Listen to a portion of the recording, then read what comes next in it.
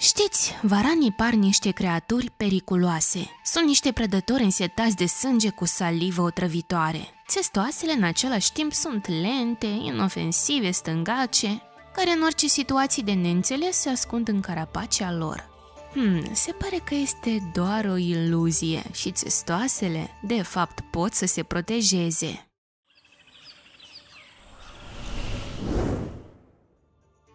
În 2018, un bărbat din statul Louisiana a făcut o descoperire șocantă, găsind într-o capcană o țestoasă aligator într-un râu local. Chestia nu era în însăși țestoasa care a nimerit în capcană, ci în ceea ce s-a întâmplat după. Când bărbatul a măcelărit țestoasa pentru a o pregăti și pentru a o mânca, a găsit înăuntru un deget de om. Deget de om! Neînțelegând cum putea să ajungă acolo, bărbatul a chemat poliția pentru investigare. Oamenii legii au început să caute răspunsuri, au început cu examinarea broaștei și a conținutului acesteia. Ei au căutat indicii și în râul în care aceasta a fost prinsă, dar nu au putut găsi nimic. Cum a ajuns țestoasa în râu și cum degetul a ajuns în ea și unde e restul omului. Dar cumva am o presupunere. Veți înțelege totul când vă voi da un exemplu. Nu de mult o turistă bătrână din Rusia a supraviețuit o întâlnire groaznică cu o țestoasă într-o stațiune populară din Turcia. Femeia nota la 3 metri de mal, când ceva a apucat-o de fesieri și a încercat să o tragă la fund. Femeia a crezut că e un pește mare și nu putea face nimic. Creatura care a atacat-o o trăgea la adâncime. Într-un moment dat, animalul a lăsat-o, doar pentru a se întoarce și pentru a o mușca și mai tare. Martorul atacului a fost salvamarul care a început să strige la țestoasă, fluturând din mâini și totuși a reușit să o alunge. Dar femeia era deja mușcată de degete, coapse, picioare și fese. Mai târziu a fost identificat că era o țestoasă mare, greutatea căreia putea ajunge la 450 de kilograme. Această specie este omnivoră. Fălcile sunt puternice, pot să despice ușor și cochilia prăzii. E straniu că această țestoasă de mare în loc de crab a atacat turista. Dar ele sunt cunoscute pentru agresivitatea lor. Cercetătorii spun că ele atacă oamenii care le invadează spațiul personal și mușcăturile au loc chiar și foarte aproape de mal. În ultimile săptămâni în aceeași zonă s-au întâmplat 11 atacuri ale țestoaselor de mare. Cu toate astea trebuie să vă temeți nu doar de ele. Țestoasa în vârstă de 12 ani pe nume Timi toată viața sa a petrecut-o într-un acvariu, înainte de a le fi milă de ea și de a o elibera în grădină. Cine presupunea cu ce poate să se termine asta? Mulți ani într-un spațiu mic au schimbat caracterul lui Timmy și el a descoperit brusc că vrea să-și apere teritoriul. Da, ați înțeles corect. Acest teritoriu a devenit toată grădina și una e când ea patrulează și se ciocnește cu capul de jucării. Des ar fi limitat la asta. Ar fi fost chiar drăguț, dar atunci când proprietarul ei se apropie prea mult, Timmy îl urmărește și îl mușcă de picioare. Timi era atât de agresivă încât ei au renunțat la organizarea sărbătorilor pentru copii, fiindcă își făceau griji ca micilor oaspeți să nu fie atacați de broasca domestică cu un caracter dezgustător. Acesta literalmente atacă tot ce se mișcă și nu se mișcă, dar interesant e că Timi are toate șansele să ajungă până la 100 de ani, deci să scape de ea nu vor reuși. Acum imaginați-vă că primiți moștenire de la bunica o țestoasă care vrea să vă ucidă plus că țestoasele pot să se strecoare spre voi în cel mai neașteptat moment. Vor face asta foarte lent și se pare că pot fi găsite oriunde dacă acolo nu este prea frig. Astfel, o țestoasă aligator a fost găsită într-o canalizare din Sydney. Muncitorii au avut nevoie de o roabă pentru a scoate la suprafață reptila de 25 de kilograme. Parcul Zoo australian consideră că această țestoasă putea fi unul dintre puii furați în anul 1979 de la ei. Se presupune că locuia în sistemele de drenaj din Sydney timp de mulți ani și acolo probabil că trăiește o familie întreagă de țestoase, țestoase mari, uriașe, care se hrănesc cu șobolani și pisici vagabonde. Rămâne să sperăm că reptilele nu vor trece la prada mai mare, căci astfel va trebui să ne apărăm cumva. Autoapărarea în caz de atac al țestoasei sună ca o nebunie totală. dar se pare că anume așa istorie a avut loc cu un polițist din Uganda. Ofițerul stătea liniștit acasă și savura o ceașcă de ceai, când o țestoasă a atacat bărbatul. El a încercat să o sperie, dar țestoasa se comporta foarte agresiv și nu reacționa nici la o creangă din mâinile lui. Cu părere de răului, nu-i rămânea să facă nimic în afară de a o împușca.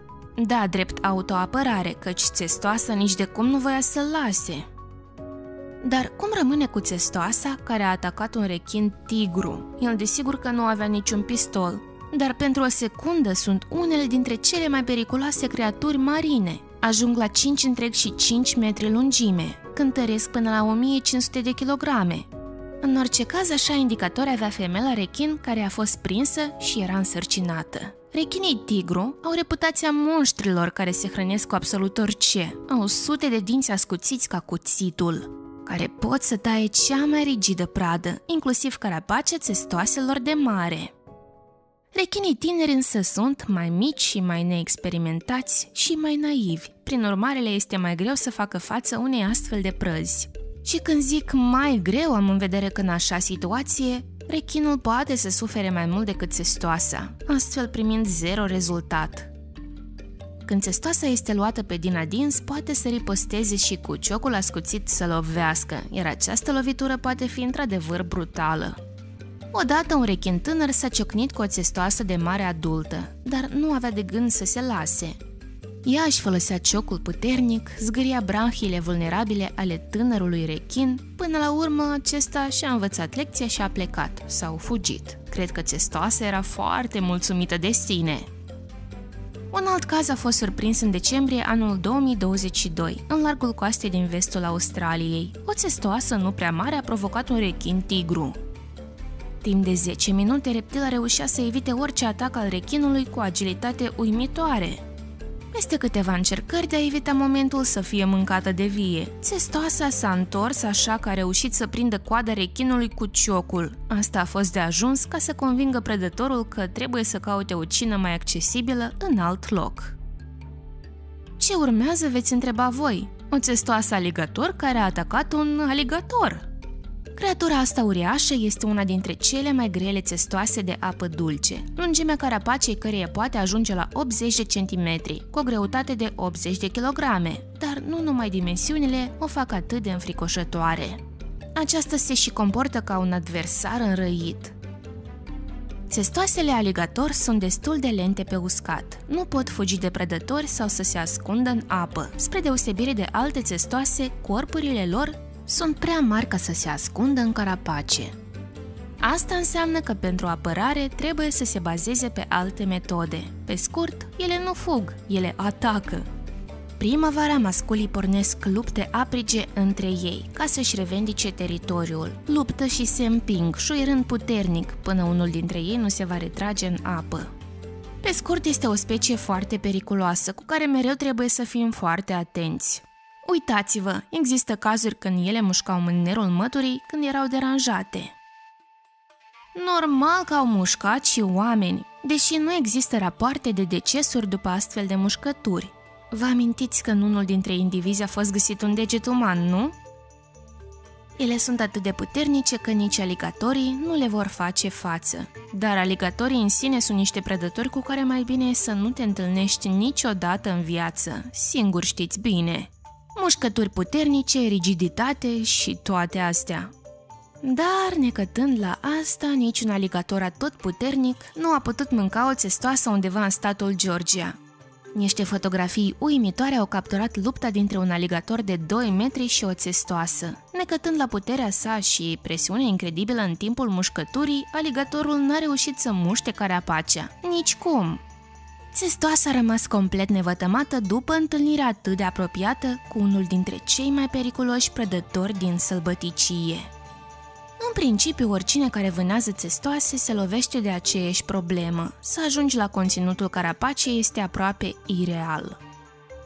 Cercetătorii spun că rezistența carapacei depinde de mărimea animalului, dar sunt de acord și cu faptul că țestoasele special au evoluționat ca să se protejeze de prădători. Și știți, chiar au reușit.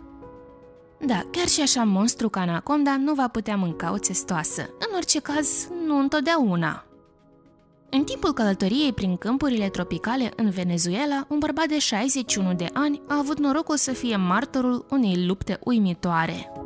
A fost vorba despre o luptă dintre o anacondă și o țestoasă. Fotograful a făcut pozele luptei epice care a durat câteva minute și chiar a fost epic. Anaconda a prins prada în apă și a încercat să scoată aerul din țestoasă. Dar spre fericire țestoasei, carapace ei a protejat-o.